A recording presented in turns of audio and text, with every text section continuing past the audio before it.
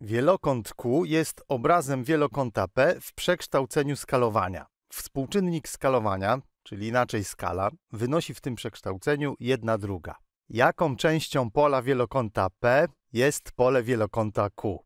Mówiąc inaczej, jaki jest stosunek tych dwóch pól, pola Q do pola P? Od razu zatrzymajcie ten film i spróbujcie obliczyć to sami.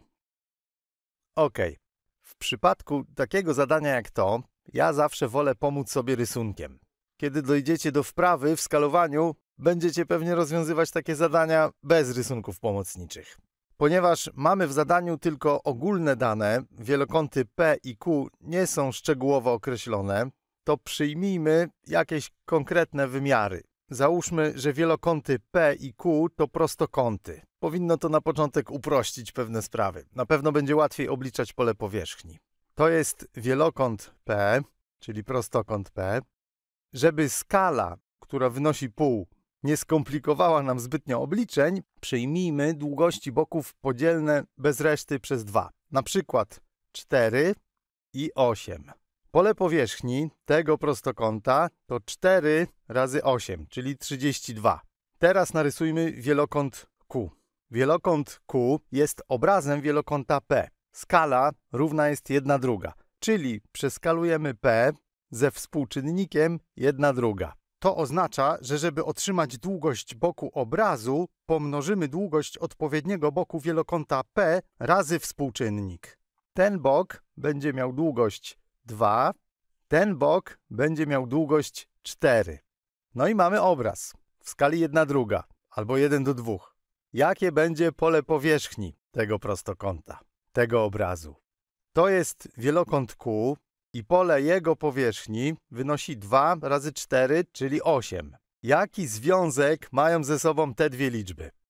Pole P jest 4 razy większe niż pole Q. I odwrotnie, pole Q jest 4 razy mniejsze. Jest 1 czwartą pola prostokąta P. Jaki to ma sens? Ma to sens taki, że jeżeli długość każdego z boków pomnożymy razy skalę, żeby otrzymać długości boków obrazu, to pole powierzchni, będące ilorazem długości boków, pomnożymy dwukrotnie razy skalę, czyli pomnożymy razy kwadrat skali. Jedna druga do kwadratu to jedna czwarta. Pole powierzchni równe 32 zostało w tym przekształceniu pomnożone razy 1 czwartą. I możemy odpowiedzieć na pytanie, jaką częścią pola wielokąta P jest pole wielokąta Q? Jest 1 czwartą, czwartą częścią pola wielokąta P.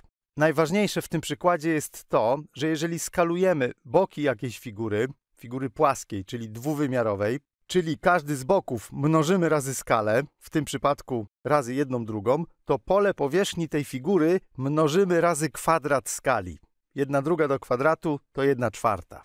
Gdyby skala tego przekształcenia wynosiła na przykład jedna trzecia, to pole powierzchni obrazu byłoby jedną dziewiątą pola skalowanej figury. Bez względu na kształt figury. Dotyczy to nie tylko prostokątów, dotyczy to wszystkich figur płaskich, dwuwymiarowych.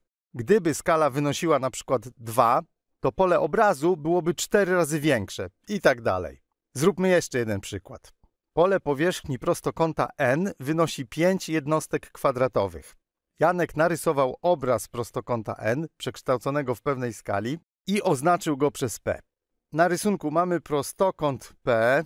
W pierwszym zdaniu mamy dane dotyczące prostokąta n. Jakiej skali użył Janek, przekształcając prostokąt n w prostokąt p? Zastanówmy się, o co tutaj chodzi. Narysowany jest prostokąt P, czyli obraz tego przekształcenia. Sprawdźmy, jakie są jego wymiary. Wysokość to 1, 2, 3, 4, 5 kratek i w poziomie 1, 2, 3, 4, 5, 6, 7, 8, 9 kratek, szerokość 9. Czyli pole tego prostokąta to 45.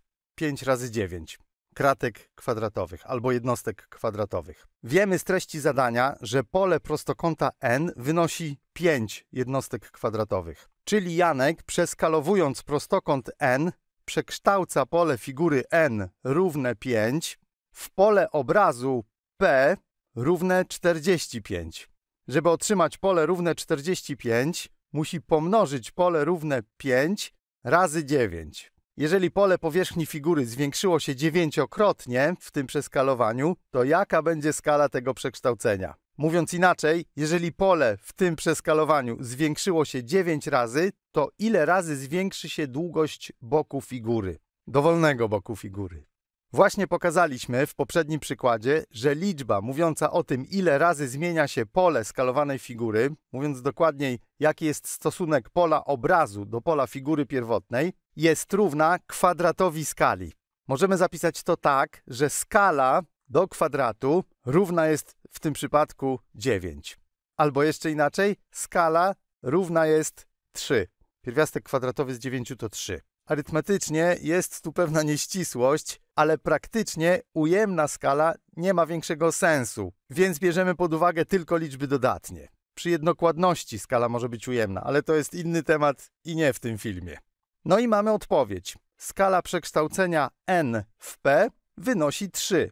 Sprawdźmy jeszcze, czy ten wynik ma sens, czy nie popełniliśmy gdzieś tutaj jakiegoś błędu. Narysujmy prostokąt n. Jeżeli p jest obrazem n w przekształceniu skalowania ze współczynnikiem 3, to każdy z boków p jest 3 razy dłuższy od odpowiedniego boku prostokąta n. Czyli każdy z boków n jest 3 razy krótszy od odpowiadającego mu boku p.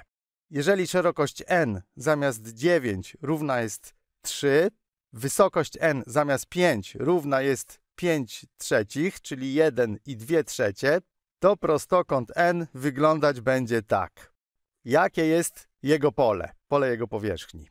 5 trzecich razy 3, czyli 5 jednostek kwadratowych. Jeżeli długość każdego z boków zwiększymy trzykrotnie, to pole figury zwiększamy dziewięciokrotnie. 3 do kwadratu, 3 razy 3 to 9. Wysokość 5 trzecich razy 3 to 5. Szerokość 3 razy 3 to 9. Ta trójka razy ta trójka to ta dziewiątka.